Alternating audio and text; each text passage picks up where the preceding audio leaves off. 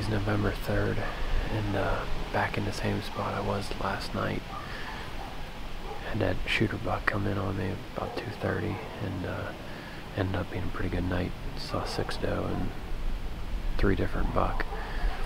Came here this morning, and as I was uh, kind of getting situated, still before legal light, I thought I heard something, and uh, sounded like a deer, so I obviously finished what I was doing.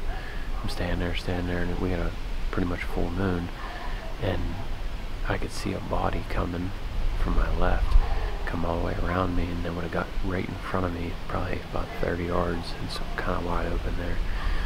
I got my rangefinder up, and I could make out, I'm pretty sure it was the shooter buck that I saw yesterday. So he was just kind of picking his way through here. Never knew I was here, no nothing. And uh, he come by about 30 yards, and then he worked off the same way he worked off when I seen him yesterday afternoon. So it was about 15 minutes before legal light, so I obviously couldn't shoot him, but it's cool to see that he's in here. So hopefully he'll get a doe up and run her past the stand. Well, it's a little after 10, and uh, haven't seen any deer since probably, I don't know, 640, something like that. So I saw that, I'm pretty sure it was a shooter buck, uh, about 10, 15 minutes before legal. I could see him by the moonlight, and just only when I looked through my rangefinder could I see his rack. And then shortly after that, I had two fawns come through, but I haven't seen anything since. So I'm gonna get down. Today's election day, so I'm gonna get down, swing by, check a couple cameras, and then go vote, and then eat some lunch and get back out. Probably just gonna come back to the same spot here because I, if it is him, he went up into a point, in a little wood lot here. And I'm hoping with seeing six doe here last night that he'll just hang around and I mean it's a matter of time before one of them comes in estrus and then it should be wide open. So kind of just put my time in and hoping that things start to happen. Back in here on that big deer, pretty sure I saw him this morning before legal light. Um, just barely make out the shape of his rack through my rangefinder as he walked past me like 30 yards. And he went right behind the camera here, and uh, there's a finger of woods that goes up in between two fields. I think he went up in there. If not, I mean, once he got out a little ways, I lost track of him because it's still dark. I was just seeing by the moonlight. Either went out in there or he turned and went down the hill. But either way, pretty sure he's around this area.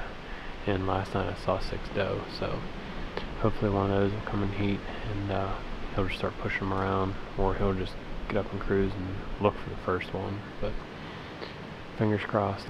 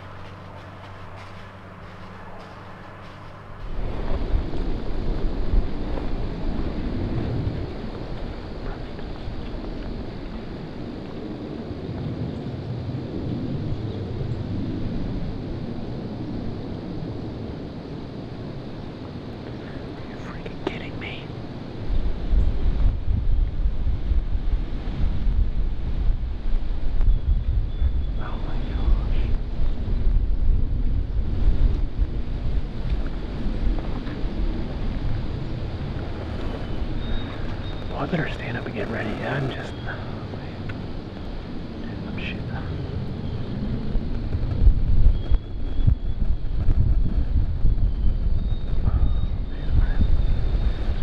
literally gonna kick myself. I literally came into a new spot and on the way in I knew there was a scrape there last year from scouting I threw a cell camera up there and literally right now, one of the big bucks is standing there. I almost, I almost set up right there over that scrape. Now the wind's going back right to where that scrape's at.